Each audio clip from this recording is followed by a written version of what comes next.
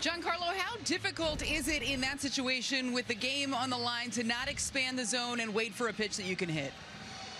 Um, uh, yeah, I did expand on one pitch, but you know, you get you get three in that situation, so it's really it's really about being calm and knowing he has to come to me uh, and, and, get a good pitch to hit. Do you like coming up in those situations with the game on the line? Oh yeah, oh yeah. That's it. That's everything you work for. That's uh, that's the, the, the highest competition in the world and in the biggest moment. So.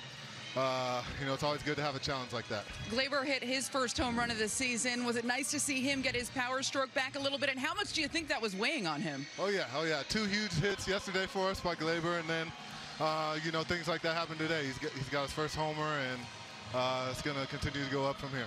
Overall, how do you evaluate this homestand, and is there a different feel in that clubhouse right now? Uh, these are two huge wins, uh, especially with the long day yesterday and, and the getaway day today into, into an off day. So, uh, and, a, and a series win as well. So,